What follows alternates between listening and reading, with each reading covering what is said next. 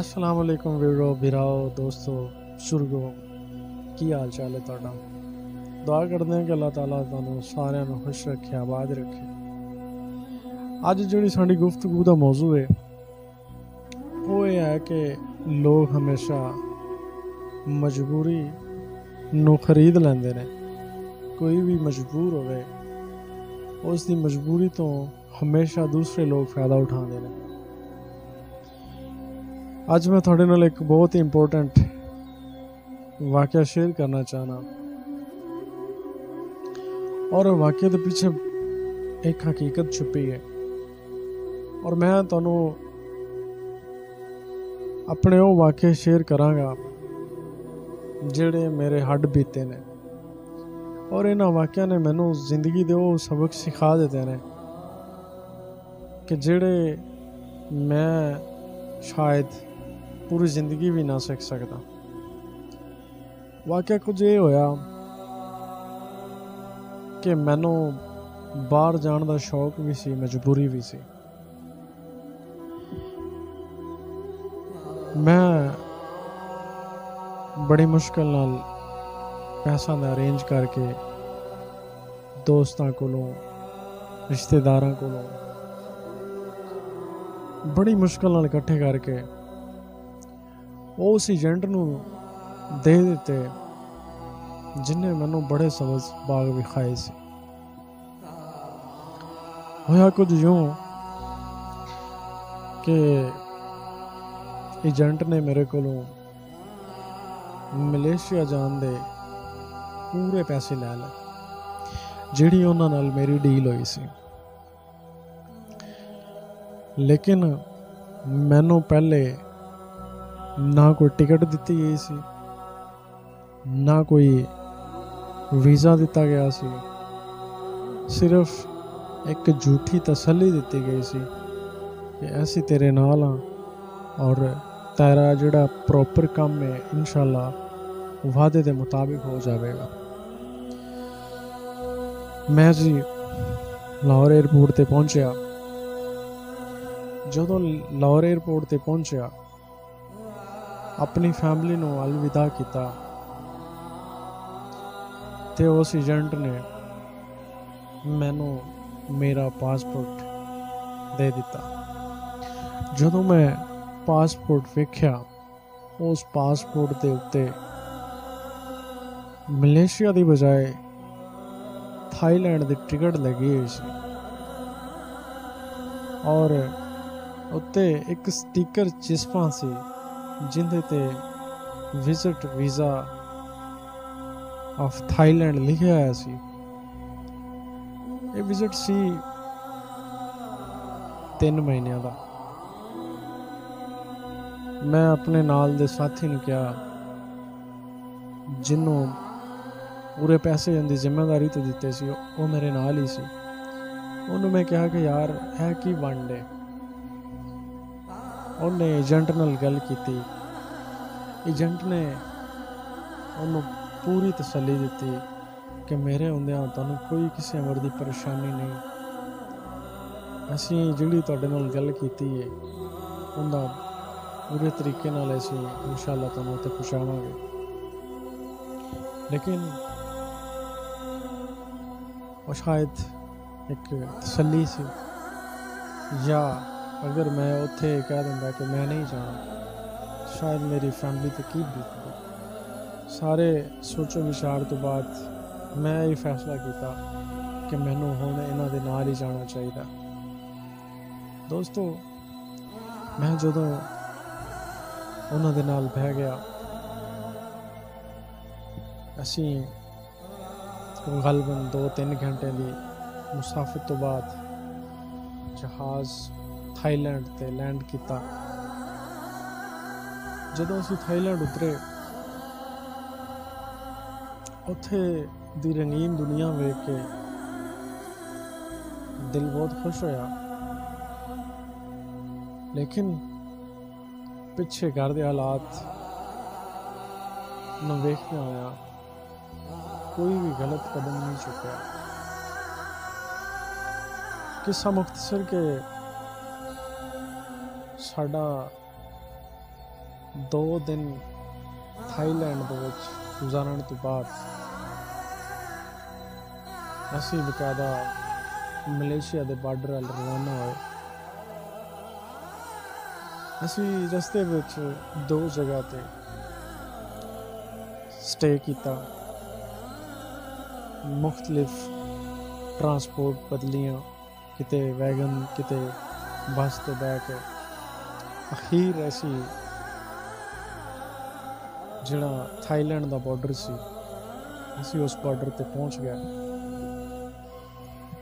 ਇੱਕ ਰਾਤ ਉਹ, ਉਸ ਬਾਰਡਰ ਦੇ ਉੱਤੇ ਇੱਕ ਹੋਟਲ ਦੇ ਵਿੱਚ ਰਾਤ ਗੁਜ਼ਾਰੀ। ਸਵੇਰ ਅਸੀਂ ਨਿਕਲੇ। ਸਾਡਾ ਸਮਾਨ, ਸਾਡੇ ਪੈਸੇ,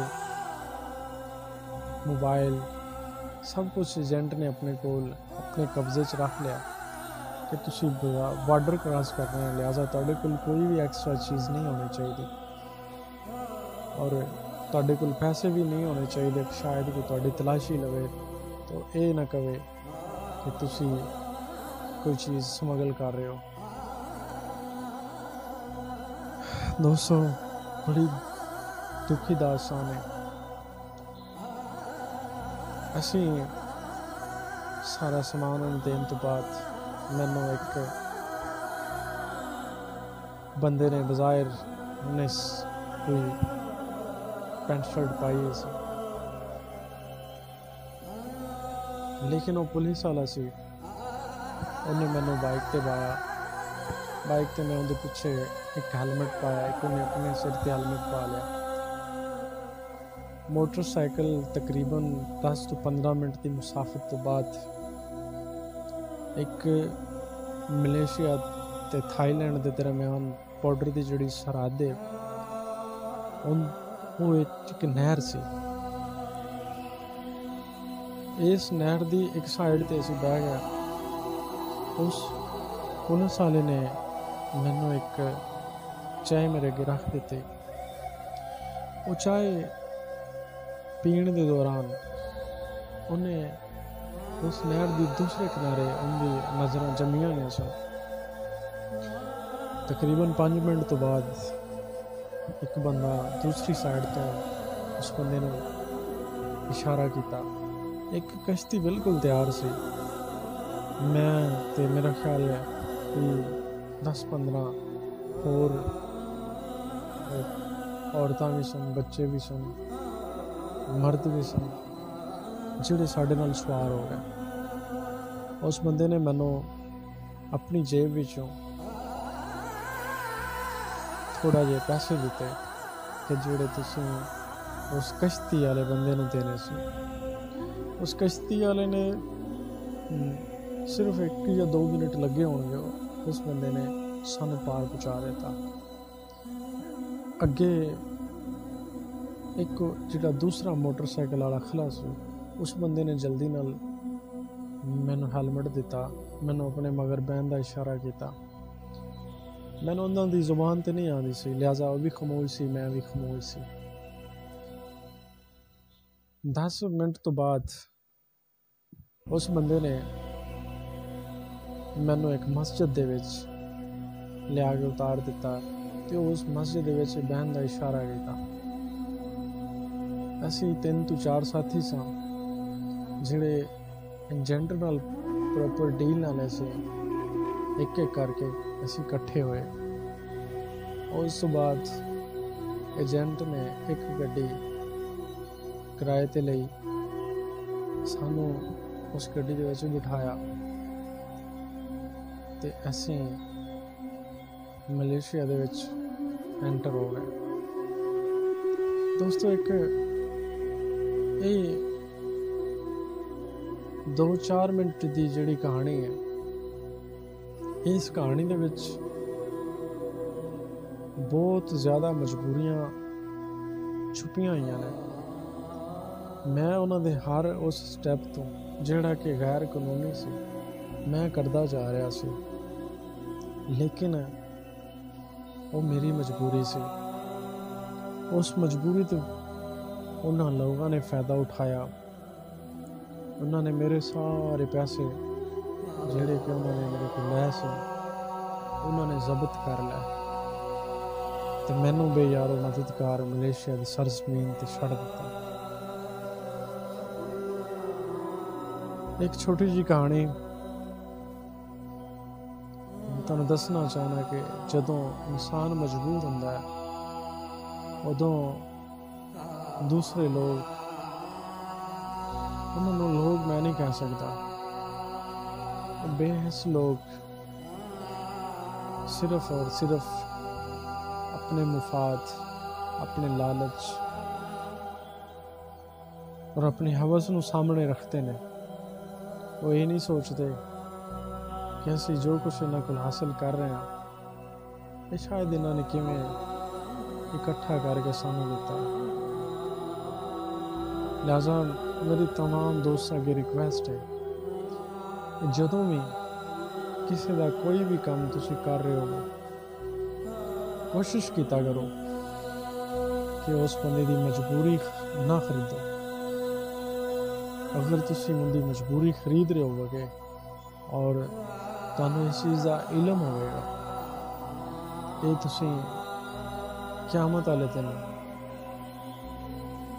इस चीज़ का हिसाब किताब तुम अल्लाह की अदालत के सामने दोगे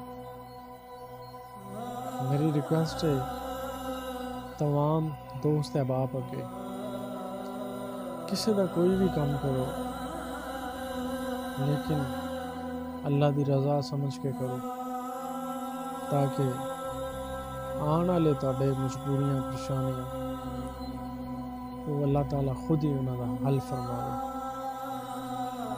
ਤੇ ਮਿਲਦੇ ਰਵਾਂਗੇ ਕਿਸੇ ਹੋਰ ਨਵੀਂ ਕਹਾਣੀ, ਨਵੇਂ ਟੌਪਿਕ ਨਾਲ। ਤਬ ਤੱਕ ਲਈ ਅੱਲਾ ਨਿਗਹਿਬਾਨ।